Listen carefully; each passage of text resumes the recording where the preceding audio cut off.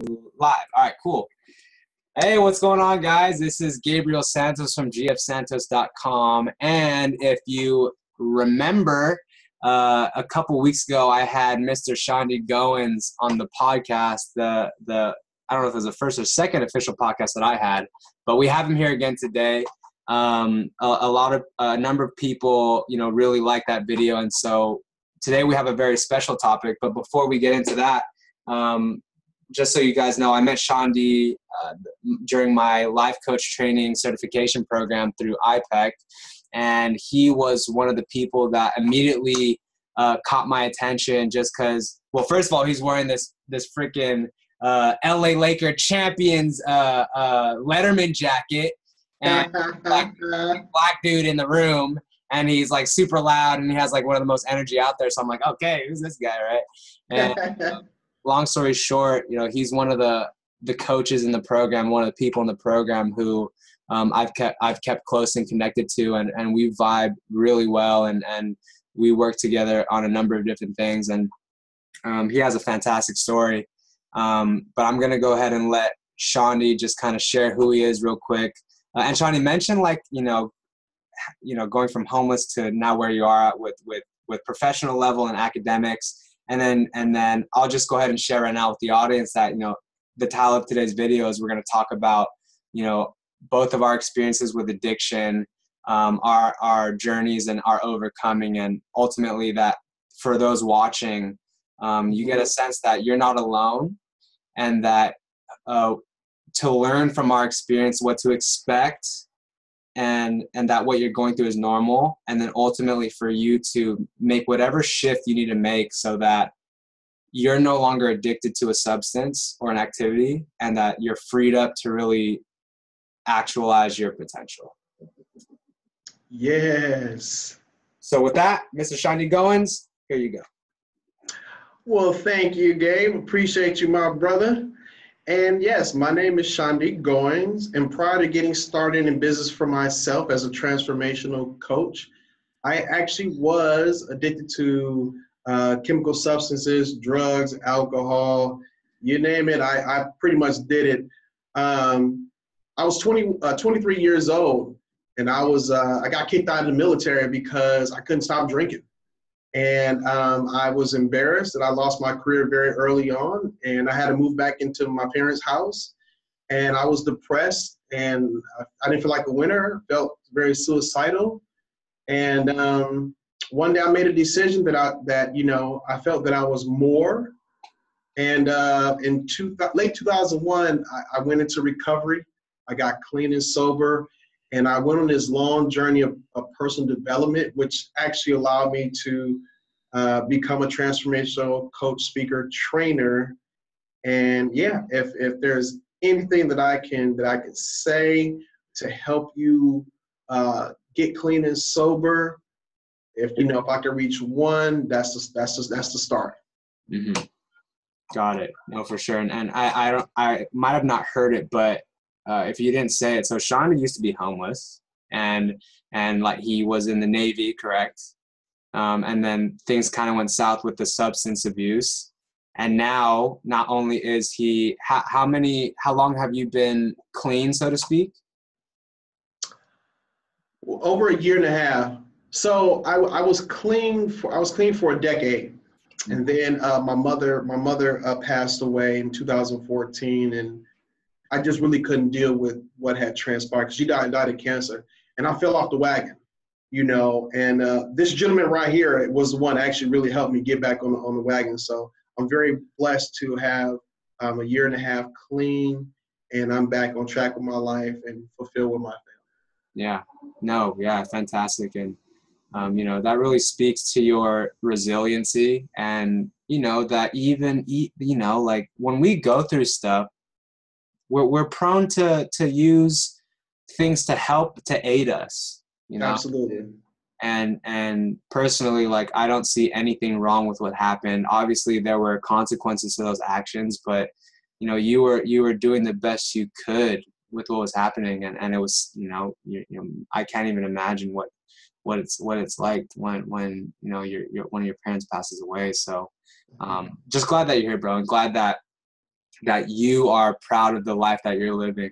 And you know so so Shaundi is is a, one of the all-star college recruiters um, in the nation. And he is also in the middle of grad school. And so you know he is a, a living testimonial of someone who went from homeless and addicted to multiple drugs to now someone who inspires people who has 10 years of excellence at his at his professional career and just finished his own book and is, is just about to start his i don't know it should, can, is it okay if i mention this? Oh yeah go for it. Okay yeah.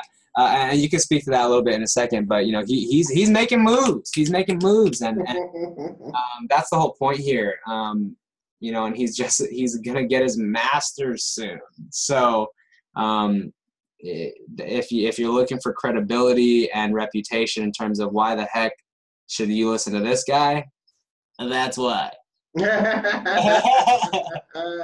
um, but yeah, any anything coming up for you right off the bat? If not, I can I can open up a a, a topic. No, man, you're you're you're good. You're you're good. We're gonna we're gonna we're gonna get really deep in, into this because we really want to save a lot of lives. We really really do. So let's start with this. What do you feel is the number one thing that people who are addicted to, whether it's alcohol or addiction, why is it that what separates the people that that get control and move forward in their life and the people who stay addicted? Gotcha. Well, one of one of the first things that I, that I learned when I was in recovery was this right here you only get addicted to any chemical substance unless you like it. If you like it, you're you potentially are about to go down the rabbit hole. You're gonna go. You're gonna potentially go down the dark side. There's a lot of variables that goes with being addicted to chemical substance. Um, one of one of the big ones is is genetic. You know, if if if you have one parent that isn't that's addicted to drugs and alcohol, you're 25% screwed. If both parents are, you're 50% liable to become addicted to drugs and alcohol, right? Um, not to say it'll it, it will always happen. There are a few uh, children that'll say, you know what, my dad is always drunk. He doesn't look like that doesn't look fun. I'm not gonna do that. There are people, there are children like that grow up and says, yo, my my my parents were drunks, drug addicts, and that wasn't me. Um, there, there's also, you know, there there goes with being a habitual creature. And what a habitual creature is, is someone who, you know, let's just say like if I get a hold of ice cream for the first time and if I love ice cream, I'm gonna eat a lot of ice cream over the years. Mm-hmm. And so people, a lot of people don't realize, you know, the things that really go into addiction before you actually start doing the drug, mm-hmm. right? Mm-hmm. If you are a habitual creature, if you take ecstasy for the first time and you love how it made you feel and that whole atmosphere and environment, trust me, you may end up potentially becoming addicted. I will say this here. If you don't ever want to be addicted to any chemical substance, do not try it for the first time. It's not the 1,000 time you drink. It's not the 1,000 time that you picked up and smoked meth or crack or whatever your vices is. It's that first one that gets you. Mm-hmm. I got it. No, I, I get it. And, and, um, you know, addiction is an interesting thing. It's an interesting phenomenon. I couldn't attest to the genetics part of it. Um, I do agree that if, if there's a household of addicted people, that it, it will tend to breed uh, people who are addicted just because that there's an there's a culture of addiction in the house. Mm-hmm. Um, and I definitely I will say this like at least for me, there are certain activities where like I know where you know I'll try it and not even drugs, but like say there's like a really fucking good cookie out there. Yeah. I'll try I'll try it and like I'll because because I don't I don't know if this is if this is a thing, but I feel like I'm a very like I like stimulants. Yes. Like like like I don't Yes. I, I don't care if it's if it's the internet or if it's a cookie or if it's video games or if Right. social media or if it's marijuana or alcohol like or if it's fucking a protein drink Sure. like if it if it like makes me feel something by doing it like i like that like Right. like i like it and so like i kind of have i won't call it a weakness and that's one thing i want to talk about in a second is like the power of language Right. i won't call it a weakness but i definitely ha- there's this part of me that like if i just stop caring about Mhm. consequences oh Mhm. I, i'm just gonna go after every single stimulant ever like like um and and so yeah you know actually and even the word addiction is a powerful one Yes, it is.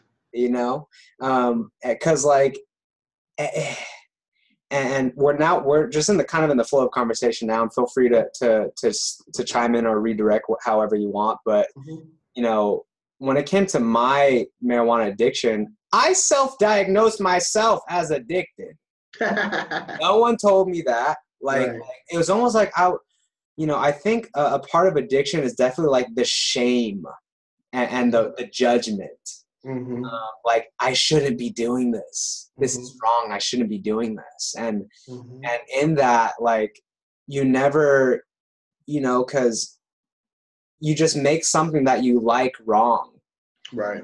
and in one of the chapters of, of my book and for those who are watching i have a book on amazon it's called uh, uh, marijuana mindfulness one of the chapters i put is um, uh, coming out the closet colon i i love weed and i'm i'm proud to say it Yeah. Because the feeling really is like that i was hiding how much i loved it you know and, and i never fully expressed how much i loved it Mhm. um, and that i would make it wrong for loving it like it was a sin Mhm. and so once I once especially in front of my father when I shared with him like hey dad like I love weed like I like it I legit like it I I that was me essentially standing up for myself and just you know I can't hide this anymore. And once I had that conversation with him and realized that he wasn't going to disown me that I was like wow that relieved a lot of my guilt and shame. Um and from there i was able to see more objectively like oh fuck like if it's okay to smoke weed now i can look at it more objectively like how is this really affecting my life Right. you know and and um in a similar way so okay so i will say this marijuana for me was definitely a security blanket Sure. um, and I didn't know I, I I didn't know how to create a life I really loved without using weed to kind of fake how much I love my life, you know? Mhm. Um, and so that's really what weed brought me at that time. And I don't know if you, I don't think I ever shared this with you because it's not really a, a popping story, but I used to eat so many pizza rolls. Like, I was in eighth grade, dude, like it, it went from this is like a classic like like tell me tell me if this sounds familiar to an addiction addiction cycle like i start out with just six the Mhm. recommended six Mhm. right ate them all then it became 10 at a time then it became 20 at a time then it became the whole 50 pack at a time but here's the thing i never felt like i was addicted like i'm wrong and it got to a point where i saw like oh my god i'm eating so many of these i get chubby Right. and I told my mom, I was like, Mom, don't get these for him anymore because I, they just make me chubby. And that was it. That was it. There was no more like, I need to have the pizza roll. Like, like, and what's different when people, you're deep in addiction is there's this need that the, that the stimulant fulfills on Mhm. that like even though you recognize that I'm spending a little too much money on it, or maybe I'm not getting productive anymore, that goes out the window. And and whatever pain the marijuana or the alcohol solves, it's like you just you don't know how to find it another way, so you just you just have to go for it. Right. So pizza rolls never did that for me. yeah, man. But you know, and I can't speak for everybody else because there there are people out there that that love food and they're you know their food is food is their is their addiction. You know, they're not smoking, they're not drinking, they eat, right? um, and then, you know, again, everybody has their own vices, right? But one thing that I will touch on that you said a little earlier was the guilt, right? And yes, because there is so much guilt because subconsciously you know that man, I shouldn't be out there smoking crack. You know, I'm taking money. I'm taking money out of my mama's purse. If you're working, I'm getting paid, and I know I'm supposed to pay the rent, but I, I, just, I'm I, again, I'm gonna just have one, and right. one turns into ten, and before you know it, you you, you blew a thousand bucks, right?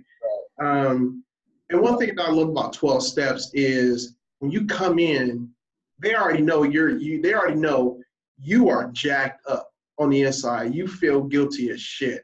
Yeah. And and and, and they'll, they'll come in and says, brother, welcome. We love you. It's gonna be all good. And what happens is is a group of people will love on you so much.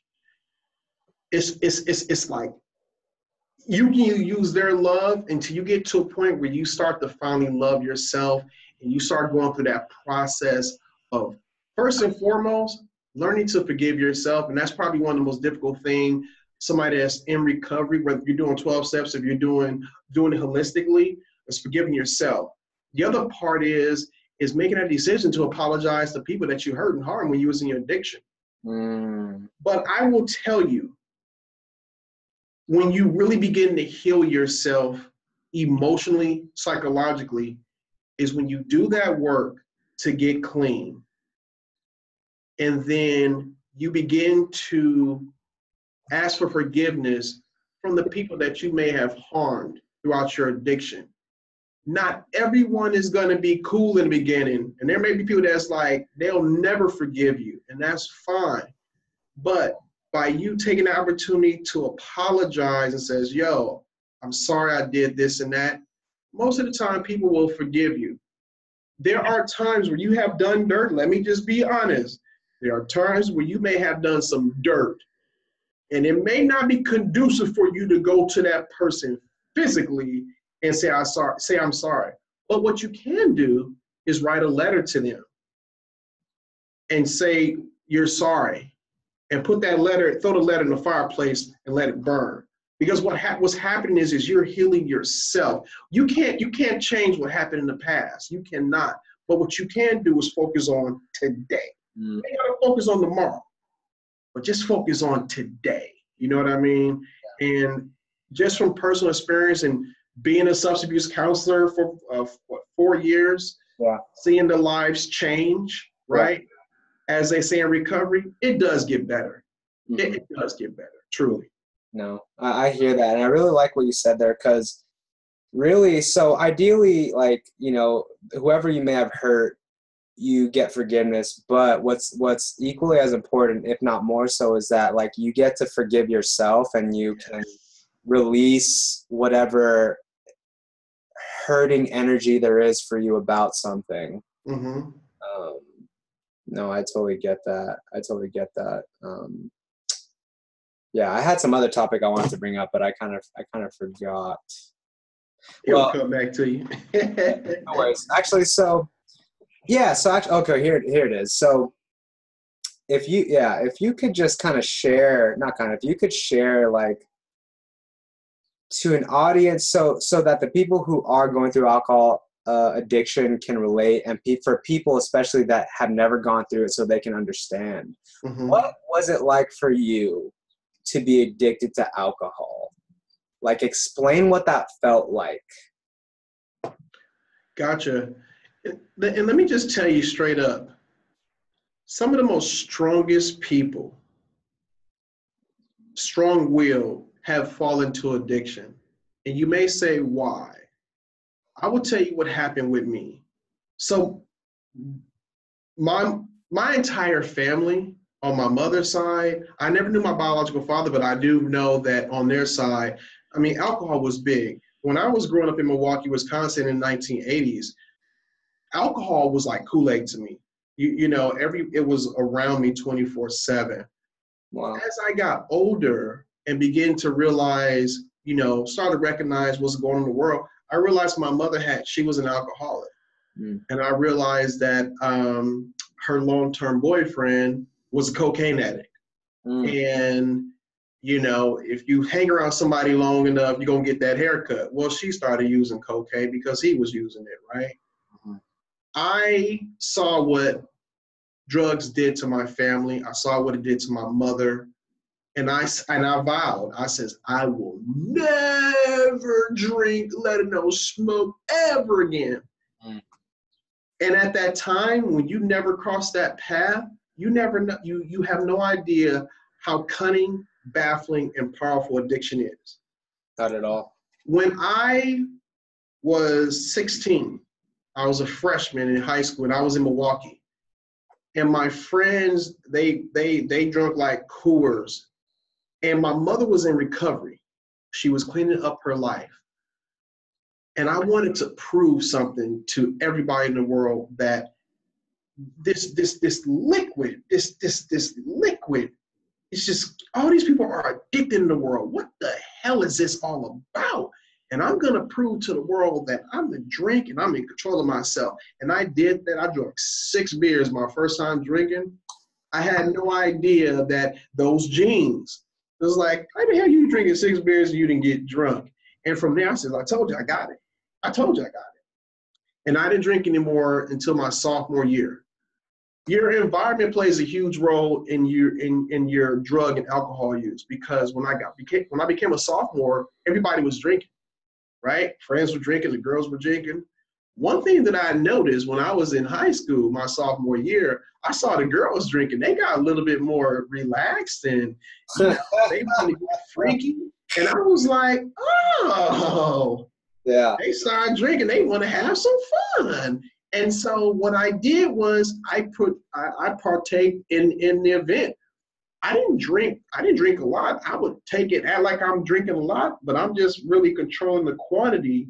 Yeah. And I just want to be a part of that crowd because I was trying to get girls and have fun.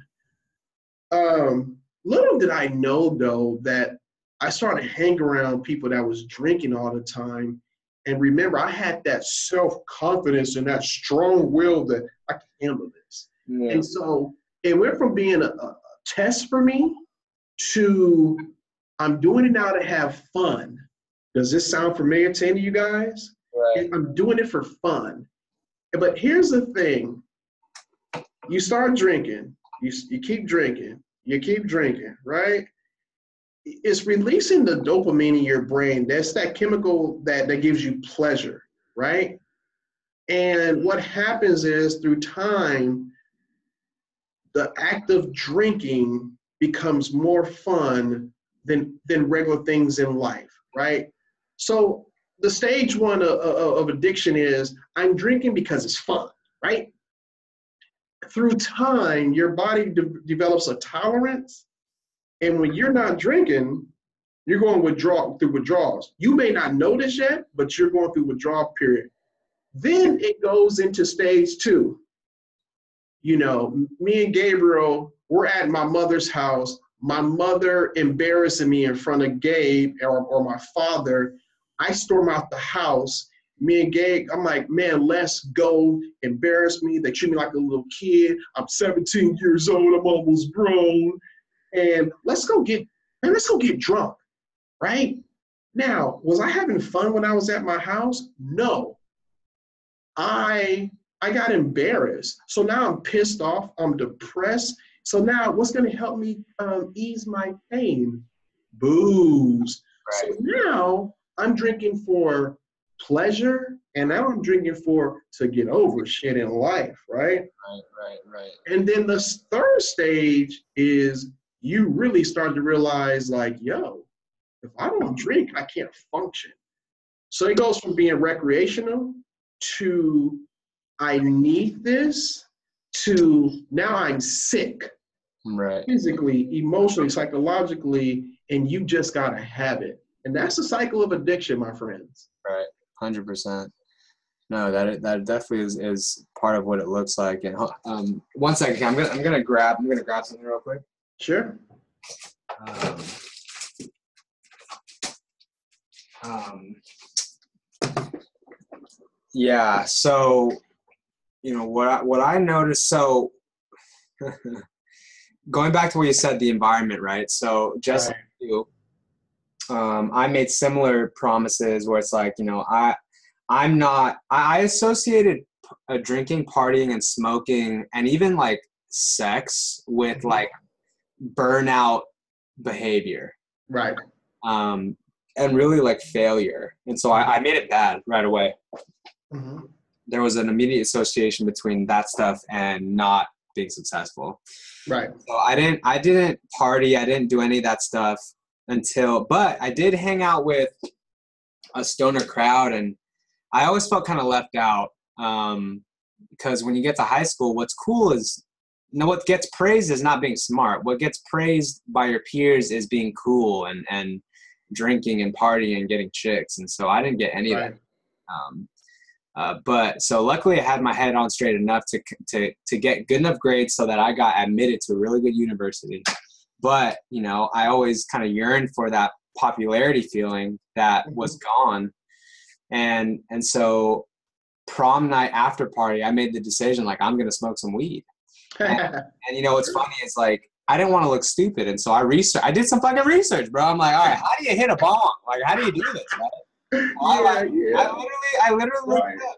And so, you know, like, like that's just kind of a testament to who I am. And anyways, so I get to this party, and my first fucking party ever, bro. And you know, like my friends are pumped, like, "Oh my God, Santos is gonna smoke with us!" Like, and all throughout the years, they're like, "Bro, if you ever smoke weed, you gotta smoke with us." Of right? course. Yep. Yep. Yep. And so like now it's this thing, and I tell them like, "Oh my God, Santos is gonna smoke, dude. Go away. What are we gonna do?" Da, da, da. And so it's this whole little thing, and and I get to the party, and I hadn't done any drugs yet, and all of a sudden like, "Oh my God, Santos is here! Like what the hell? Like da da da da da." I'm immediately feeling this sense of significance and recognition that wasn't there, even love, right? Wasn't there before Right. and, and what I learned, so I actually had some fear about parties. Is like, you know, is it gonna be weird? Can I handle it? Like, can I handle this? You know, emotionally, honestly. Sure. I got there, and I made the immediate immediate connection. Like, like two things. One, like, oh, partying isn't a big deal. Like, people just get fucked up. Like that. Right. That's all they do, right? Right. Right. the second Right. thing is like, wow, like I could do this, and this is how I'm gonna make friends Uh huh. you know so like literally to kind of fast forward the story i smoked that night and you know the high itself in hindsight it wasn't even that good bro i had like i had like a, a three minute giggle fit and then and then and then i had the craziest cotton mouth right. And then i was extremely paranoid like scared out of my mind like like Mhm. scared that the cops were gonna come scared that I was gonna get busted, and then like just like you know, I had never been that having that altered state of mind before.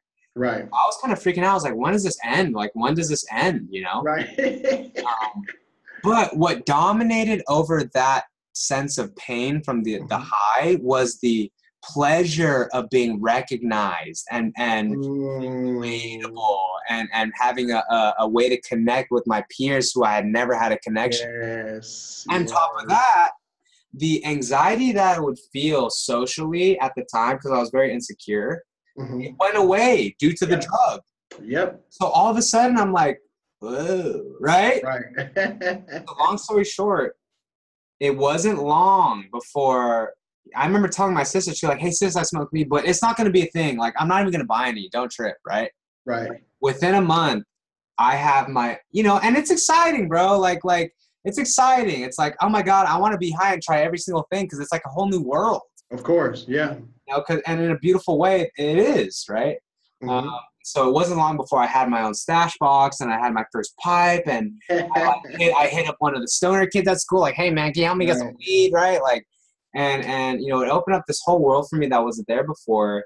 And in fact, in college, that's exactly what I did. I I made all of my social connections through partying, Mhm. all of them, all of them um, and and my priorities shifted. It went from I just I want to be cool, I want to party, and grades can be secondary, like whatever, right? Yeah.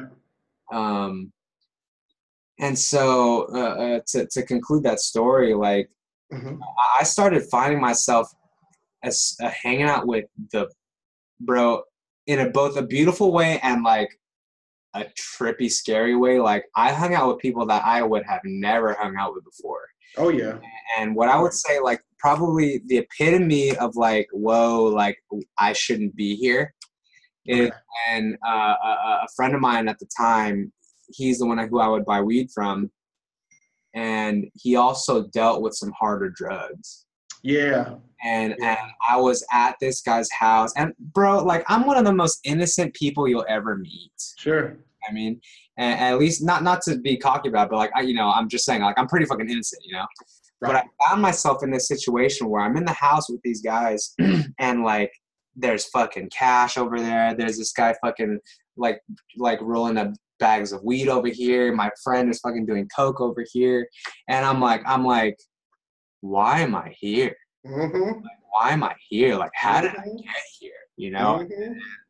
But anyways, It's it's it's that rabbit hole, man. I I, I get it. I, I mean, you know, you know, we. you go by much on this? Oh, go for it, dude. Shoot, handle your business. I'm like, I- I'm listening. um, you know, dr- you know, drugs. Drugs can. The, the typical drugs, you know, we're, we're talking cigarettes. Cigarettes is a chemical substance. It's a, it's a stimulant. You know, you start smoking cigarettes, you know, and then you start drinking, or vice versa. Uh, when you when you do the two, it's it's a good combination, right? And for those who drink and smoke, you know exactly what I'm talking about. You fire up a Newport, you know, and, and some and some some booze, you good, right? But then, you know, if you're again, if you're a habitual creature, right? And if you are, you know, really intoxicated to where your inhibition is low, right? You you can be uh, susceptible to trying harder core drugs. You know, for example, uh, just like Gabe was talking about, you know, I started with alcohol, right? Then it led to oh, if the Chicago big the Chicago Bulls win the 1996 NBA Finals against the Sonics, I'm gonna smoke me a black and mild for the first time, Mm. and I found myself smoking that cigar, and I got a headache, and I said I'll never do that again. Little did I know that that, that strong effect of that chemical substance, and next thing you know, that summer and and my senior year, I was I was smoking on black and miles, and I was smoking BDs and and then cigarettes. And you know first time I smoked marijuana I actually went to damn jail. So I went to jail on Mother's Day. Uh, smoking the marijuana. I had just turned 18 and that turned out to be a, a, a disaster. But Wow. you you know when you're when you're in that when you're in that life even if you quit for a while if you reach if if you reach a point where you're you may be addicted and you don't know it there's always a chance that you may go back to it. So what do i mean by that? So because i actually got in trouble with the law i had to be straight edge. Like they was like if you sneeze wrong you're going to spend a, a, a year in san quentin right Mhm. and about eight months later, I haven't had any drink, I haven't smoked. And I wasn't a smoker, I wasn't a marijuana smoker, but I drank and I was like, oh my God, it felt good. And then I, I was really chill, right? But then my senior, uh, I'm sorry, two years after I was with my first love, we broke up. And all I felt was pain. Um, and then, like Gabe was talking about, you know, your environment. So all my homies, the little the, the younger homies that was doing they were now doing the same thing that I was doing a few years back. And I'm OG now to them.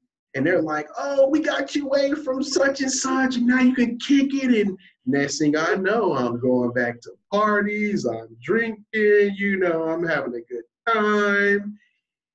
And then one day, I came across an individual that offered me something that I never had. I know people that have it before, but I thought it was very harmless Mhm. because it came in, in a little pill form.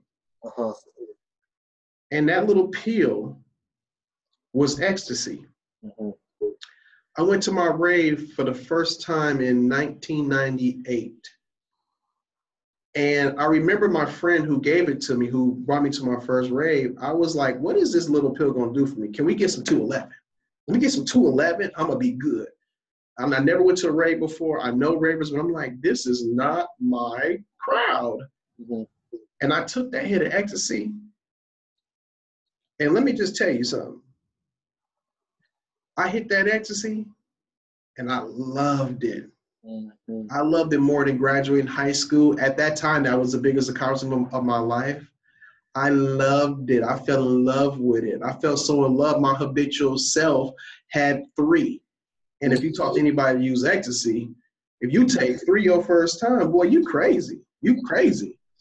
And for a good, I, I had a three-year career with, with, with, with ecstasy. I went to raves and been around crazy people. You know, that was my new lifestyle. Yeah. It also was a gateway to the worst drug you can ever have, which was methamphetamine. I was coming off of ecstasy and it was there, and I was like, let me try that. Yeah. Never tried that before. They was like, don't do it, don't do it. I know what I'm doing. Let me try that. Yeah. And next thing I know, there goes another addiction going down the rabbit hole, you know. So when you go down that rabbit hole, again, where did it start? I didn't wake up and says I'm gonna be an e-tard. I didn't wake up and say I was gonna be addicted to methamphetamines. I didn't grow up and say I was gonna be homeless. Where did it start? It started with that one damn Coors Light I had when I was 16 years old, right? And, and, and so, you know, th- there's nothing wrong with being straight edge. There's nothing wrong with not trying it. There, there's nothing wrong with blazing your own path and, and, and, and learning to, to enjoy life. You don't need the, the chemical substance. If you are someone that's currently using and you're having you're, you're having fun, I get it. Let me just tell you to this day, ecstasy was fun. Using drugs was fun. I'm, I'm telling you no lie. I think the reason why a lot of people stay clean and sober because they don't hide the fact that that shit was fun. Mm-hmm. That's going to raves and feeling good and feeling lovely. That shit was fun. Mm-hmm. But I know I can't do that no more. Why I can't do that no more? I lose my kids. I'll lose my lady. I'll lose my career. I'll lose everything. I'll lose my belongings. I'll lose my money, my business. I'll be homeless. If I went back to if I went back to meth, I'll be homeless in six months. How do I know? Because that's what happened to me. when I had relapsed, I had relapsed once before. I had four. I had, I had a few years clean, and I damn near lost everything. My mother told me, she says, if you if you don't get your shit together, I'm gonna take Isaiah away from you. And I was like, no, you will not, not my son. And so I, you know, I was good for you know a decade. Mm-hmm. Um, but you will always, when you get off, you're you're it's always going to be there. They call it the dragon. And if you're not doing whatever it takes to stay clean and sober, your addiction is doing push-ups. It's getting stronger and stronger and stronger because addiction is the brain. It's addiction of uh, it's a, it's a, it's a disease of the brain, right? You release so much dopamine over the years with the, with the booze and the, and the, and the drugs, it never forgets that excitement. The only way you can return back to osmosis, if you were using for 14 years, it'll take you 14 years to, to feel balance again. Which means you like, Shaundi, I don't have 14 damn years. Well, let me just tell you this here. However you decide to get clean, whether it's holistic, whether it's 12 steps, whatever, you got to work your ass off to stay clean and sober. But it's one day at a time, guys. It's one day at a time. And remember this we're not promised for tomorrow anyway. Tomorrow's not promised anyone. So just focus on today, on your on your on your uh, new life, and and you ain't got to do this shit by yourself. Get some help, man. Get some help. This man right here, this dude saved my life. You know, and he didn't he didn't say go to twelve step. He didn't say, you know, uh, uh, uh, he didn't say the traditional things that I've heard. And I'm not saying twelve step don't work. Twelve step does work. But I, I was at a time, I was in a place in my life, I was like, I don't want to do that 12 step shit no more. I don't want to do it. And he was like, dude, I know you could find a way, but I did seek the help. I, I had to. This man stayed in contact with me that whole year, and other people stayed in contact with me and, and held me accountable. But it was it was out of love, and um, and I I found the reason, the true important things in my life that I didn't want to lose, right? Um, and so, you know, if you're out there, just know there are so many resources you can tap into, but you you have to come to a point where you like, I'm done. I'm done. When you get sick and tired of being sick and tired, that's when it says, yo, I'm done and I'm ready.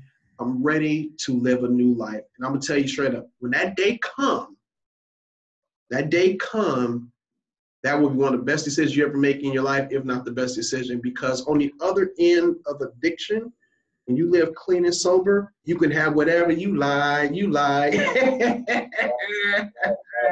no, that's a that's a beautiful uh, story, and you know what I what I want to be clear on is that you know what Shaundi went through is you know very very serious in terms of the impact, and and um, the message that I share when it comes to addiction. I can't speak on alcohol addiction um, I cannot speak on alcohol because I didn't go through that. Um, but I will say that the the- so the reason why people want to stay clean is because they're aware of a history of use that when they do it even once, it like turns into a year, turns into two years, and then Mhm. start downward spiraling. And the one of the winning strategies is to just stop doing it. Mm. because that's one of the clear cut ways to know that you won't go ever back down that path. Right. and and so i i support that strategy for for for those that find that it works and it meets their needs. And that's a strategy that works for a lot of people. What um and i validate that that winning strategy. What i want to be clear on is that for me the winning strategy you know because what's what's more important than being able to say that you're sober is that your life you actually love your life Yes. that you're there for the pe- you are there for the people and the relationships that matter most including the one with yourself Yes. because because what i didn't realize is that you know because with weed especially like who, who am i hurting like at worst i'm getting fat and i'm not doing anything right Mm-hmm. but the reality is, when I, on all those times when I chose to stay home and smoke weed and get high instead of go do this or that, what potentially happened was missed opportunities where I could have changed someone's life or my life could have been changed. And so that's very unseen impact, but that is what's happening, right? Right. If I keep smoking weed, I'm not hiking up Mount Whitney. If I keep smoking weed, Shaundi potentially never gets the help that he was looking for. Ooh. You know what I'm saying? So like there are waves. There are waves out here, you know? And, but what I want to be clear on is because, you know, the the quitting quitting forever, that strategy never worked for me personally. Right. Um, and and and so I want to be clear that there are many different strategies in terms of getting rid of your addictive use and having your life be beautiful and transformative Mm-hmm. um, and that in itself, drinking alcohol isn't wrong, smoking weed isn't wrong, even doing meth isn't wrong. And what I mean by that, not to support meth, right? But but in terms of a morality sense, like, is it wrong if a rat does meth? Is it wrong if a rat? No, like like, but there is impact to use. And I think what people are missing is when you, especially with what seems to be I, I, and I'm not a, I'm not an expert per se. Like I didn't go through like I didn't do all the research, but um, I I feel that and and here's the thing. I know for meth, like I've never done meth, but I get the sense that like meth has this quality where like it, you become addicted. Like it's straight up like it's not even like you could be fuck like like that shit is so strong where you're like oh fuck you know? And i will say this i, I would say that there's a people who maybe they have a predisposition where the way meth works for a lot of people like alcohol works on that them that way too where it's like oh fuck like it just hits these needs like it hits these needs. Um and what made all the difference for me was you know two things. A i'm not a bad boy for liking weed. And b there is a consequence to the way weed is used mm-hmm. right?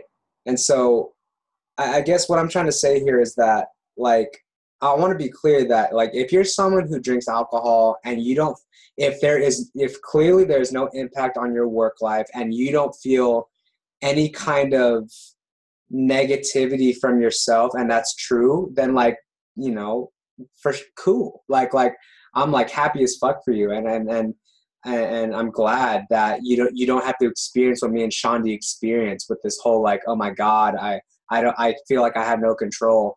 Um because yeah you know and so I'm just glad. And same thing goes with weed same thing goes with like you know on the one hand I'm not saying like yeah you should all go do these things but on the other hand like you're not a bad person for trying it. Um, but just like Shaundi said like I think what is important like like be very clear on what you're going to do if you ever try stuff. And you need to have a support system right away. Like like hmm. like because what i realized is like when i tried weed i didn't have no one was teaching me response no, I, there was i had no teachings of responsible weed use there wasn't a culture that's like you know because like if you had a culture of people who drank but they did it responsibly and they were fine young men and women and they were clear on the negative consequences but at the same time they valued drinking together as a group once a month you get what i'm saying? Like like like it's such a it can be such a culture thing. And i didn't have any rules. I had no rules when i tried weed. What was the rule? Uh do whatever it's fine. Like like it's cool you know and and what i had to learn and really do is is train myself to to follow rules and be honest to myself like um and and i will say this that just like just like shaundi said there and it it much has less to do with weed and alcohol and more so to do with with you where where if you get triggered and it's a similar trigger that you used to go to weed or alcohol for that was the addictive way you would use it mm-hmm. that's still there. Like like that potential to use weed and alcohol the same way you used to where it where your life just downward spiraled into a mess that is there. Right. And it and but at the same time i will say and this is I, this is where it gets kind of dicey because the last thing I want to do is is have someone go astray from their path. But I personally think because my whole thing is like well, let me just be more straightforward. Like I train myself to to do what I say I'm going to do. That goes for going to the gym, that goes for waking up at a certain time, that goes for meeting Shaundi at 6 p.m that goes for not smoking weed, that goes for smoking weed, that goes for alcohol, that goes for not alcohol. And what happens with addiction is that you're so not you so don't do what you're gonna say. You know, you don't you don't say you don't do what you say. Mm-hmm. For a million times you're like, I'm not gonna drink today. And then you drink today. Right. I'm not gonna smoke today, and then you smoke today. I'm only gonna smoke one, you smoke six. Mm-hmm. And so there develops, and, and what happens is because there's this just party that like I don't know, you let it loose, and then you don't harness that thing, and then all of a sudden it has full control. It, it, you know, so it's like I train myself to trust myself that when I say, despite how I feel, and I'll tell you this, guys, like when I was in the middle, in the pits of addiction, the thoughts of like, bro, we just need to do it. Like, what's the big deal? It's no big deal. What's the big deal? Right. And so I do it. And even to this day, like if I smoke once, on the second day and even the third day, uh, not smoking, but I'll smoke one day and then the day after, I'll still have those thoughts and even those emotions like, bro, what's the big deal? But I've trained myself. I know that that's not really what I'm committed to. I know that at my core. And it's, it's, it's a, like, I, like, it's funny. Like, you never would think that, that, like, you know how in the in the success path like you have to fail a lot in order to succeed. Right. Right? Like i failed a lot in terms of having self-control before i was able to really like have real self-control. And so like i know exactly what to expect. Like i know exactly what to expect. I'm like the thoughts are going to be there. The emotions are going to be low. I'm going to want to buy shit right? And it's not always like that. But i just know like i just know ahead of time right. I've had enough experience of success of saying i'm only going to do this once and i do it once or i'm not going to do this at all and i don't do it at all. Like it's it's mm-hmm. just you know integrity bro like integrity. Um, but not all of that to say like what's more important than all of that is that you have control over your life. You have control over your life and the center of your life is not a substance and that you you are you are like if and this is important for me and i and i and i'm true to this like and i couldn't say this a year ago. If weed dropped from the face of this planet i would still love the shit out of my life and nothing would change. Mm-hmm. nothing would change not a single thing. And I, I would still be fulfilled every day I would still be, you know, like I wouldn't be sad. I mean, would I be sad? Maybe for like a second, like that sucks. Like if Disneyland went out of business, I'd be like, fuck, that sucks, right? but like, but like the quality of my life wouldn't, it wouldn't change like in any real way, you know. So, um, and I, and I guess to answer a question that might come up for people is like, how did that? How did that? How did I do that? How did I go from it? it, it what what changed? Like what changed? Um, my sense of happiness and purpose went from being high to being me essentially in like the corniest way possible. Mm-hmm. like like what the center of my life these days is making sure that i am in integrity and that i'm there for people and that i'm sharing my message. Really that that's what gets me off bro. Like these podcasts they get me off the coaching sessions I had today, those shit that shit gets me off, bro. Like like exercising, that shit gets me off. Like um and I think one thing I, I really, really, really, really want for people, especially those those going through marijuana addiction, is to no longer be have that voice of addiction and judgment in your head and your soul anymore because that shit fucking sucks that conversation of like bro we should stop uh, let's just do it once. Uh, why'd we do it? Uh, but I need it. Uh, like, like, uh, but we should just stop. Like for years and years. Like, oh, oh God, that was the worst. Right. That was the worst. And uh, you know, to to your point, you know, you actually have the ability to to really stop on your own, right? Um, one of the things that I like to let people know is there, there's research, there's verifiable, verifiable research that well over 60% of people that are incarcerated, they got incarcerated because the crime they committed, they were on some type of substance, mm. some, some type of chemical substance, right? And I want to let people know out there, right? You have to be very careful of your actions when you're under the influence mm. because you don't have all your faculties. You know like yeah again you got people that's that have they're they're you know they're using meth they're using cocaine you know they're using psychedelics. When they're under the influence they have no self-control literally and they're committing they're doing things and harming others and themselves and it's not that they really mean to, but it's that chemical substance that take over their life. And so, you know, there, there's a certain thing that we call know thyself. Like straight up, if you know that you've been addicted to something for a long time and you know that you've been trying to quit on your own, but it's not working, self coach yourself. Like literally self coach yourself and say, you know,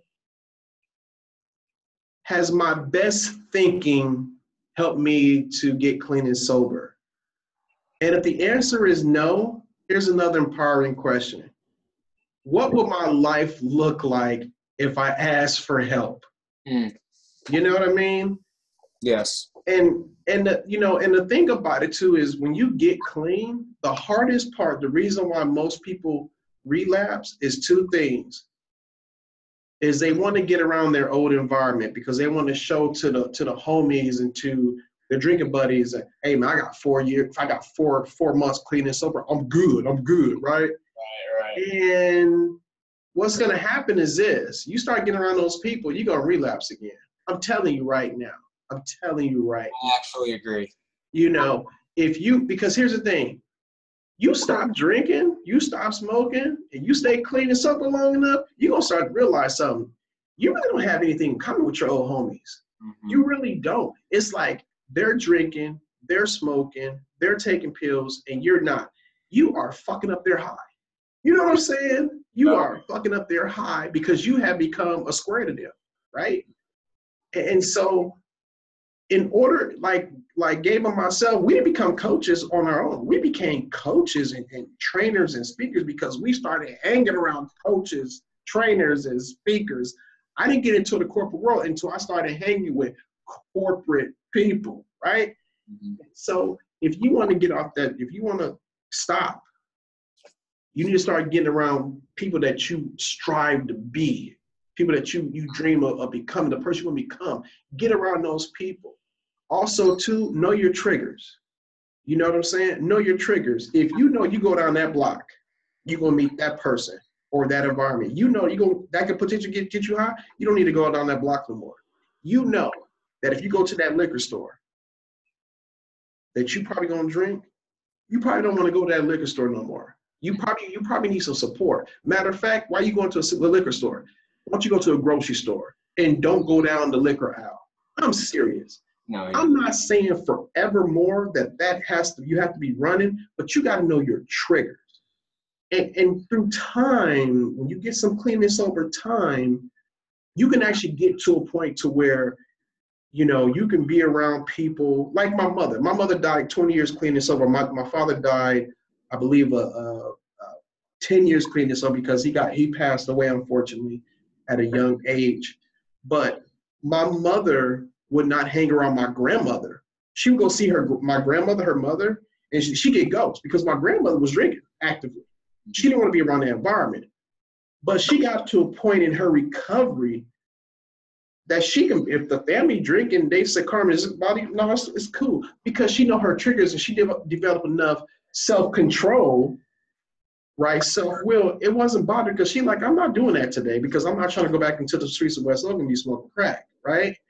But in that beginning, you really need to know your triggers because that's what that's what you call relapse prevention. Mm-hmm. And like I said before, there is nothing like having support.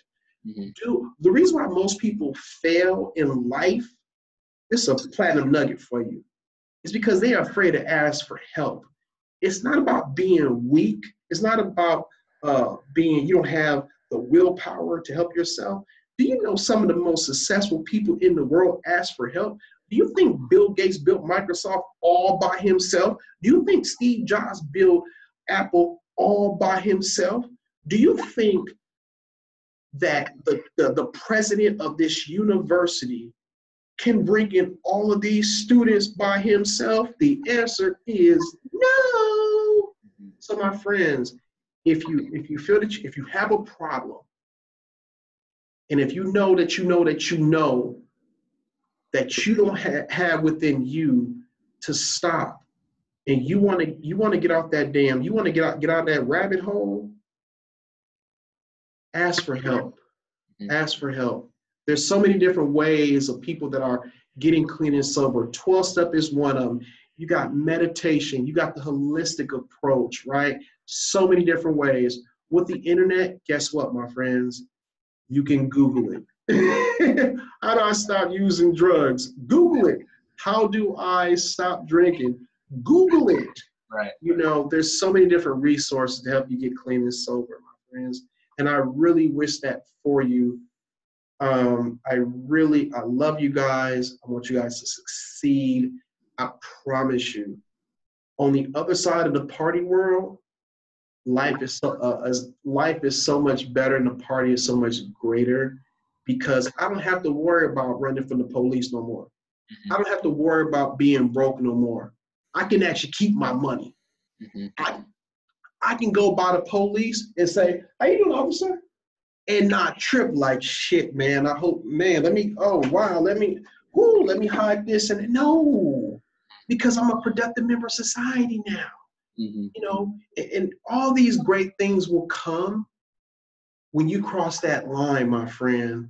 Uh, you know, when I first got when I first made the decision that I was not gonna that I was gonna get off the streets and I didn't want to be on drugs and alcohol no more, I had a vision that I could help a lot of people in the world. I had no idea how that was gonna happen. But the law of attraction says this here. If you have a vision for your life, right? And if you take incremental steps on how to turn that vision into a reality, my friends, I promise you, success will leave clues. I promise you. I never was, I never knew a millionaire in my life. Never. But I knew a friend who knew a millionaire. And because they knew that I was striving for, for upward mobility in my life for my family, guess what? I got mentored by that millionaire, right? And now I'm working with six figure earners, multi-millionaires, some of the top people in the world, you know, and, and, and that's, I made a decision that I didn't want that fucking life no more. Yeah. I, I wanted to quit being dead in life. Right. And, and so that's, hey, that's our nuggets. I love you. I hope if something that we said resonated with you, and just know you're not alone, and just know, my friends, it's okay. Yeah. And you can get help from there. Thank 100%. you. Hundred percent. Yeah, we'll we'll start wrapping up, and and just to uh to to to go off of what Shaundi said, like I, because Shaundi said I did it alone. I didn't do it alone. Like I, I, I was constantly trying to figure this out, and I like if I didn't read all the books I read, there's no way I, I get to the place where I'm at. If I didn't go to all the seminars I went to with Tony Robbins and Landmark, and even IPEC, there's no way. Like I didn't do it alone. Did, did you know? Did I hire? Uh, I even had a. I saw a drug counselor. I had my own coach who I still work with today. He specialized with people who who have addictions, and so I didn't do it alone. There's no fucking way I'm doing it alone. Okay? so so you know. So don't get it twisted. Like. especially with addiction, like doing it alone. And I, I second with what he said with the environment and the people when I was hanging out, when I was in a fraternity full of stoners and I tried to quit, there was weed everywhere. And trust me, like not all of those guys were addicted to weed, and so you had you had a mix of casual stoners and like addicted stoners who didn't even right. know addicted. Right. And, and you have me, and and it makes a difference. Like like they say, if you hang out with five millionaires, you'll become the sixth. If you hang out with five stoners, you'll become the sixth. And trust me, we recruited a lot of members who had never smoked weed before in their life, and by the time they graduated, they were full on stoners. Yeah. So so it does make a difference, and it can be hard to make new friends and to make that decision, but um, it's your life that's at stake, and when you die, the only people that are going to care is you. Like mm. at the end of the day. So, uh, not to say people won't love you, but my point is, is like it's your fucking life. Yes. It's your life, and um, if you need, if you have any questions for Shaundi, um, I'd like to leave Shaundi your email and like your Instagram or however you prefer to be contacted in the description. Mm-hmm. Um, and and you could, I'm putting. Uh, is that okay with you? Yeah, sure, definitely. Yeah. Yeah. So uh, you can email me at info at shaundigoins.com. So that's I N F O at S H A U N D I G O I N S dot com. Yeah. You can also reach me on my website is www.johncmaxwellgroup.com forward slash S Goins. So that is J O H N. We'll have the link in the description, Shaundi. We'll have the link. yeah, it'll be. Yeah, it'll be. Well, uh, oh, actually, go ahead. Go ahead and spell it out in case they're listening and for whatever reason they can't find it. Go ahead and spell it out. Yeah, J O H N um, C M A X W E L L group G R O U P dot com forward slash S G O I N S. Perfect. Perfect. Yeah. So there's Shaundi's information. And if you have, if you guys have any questions or comments, or I like to actually know what your guys' opinion on anything we said today down below. Um, I know, you know, I, I actually think addiction is a pretty polarizing topic.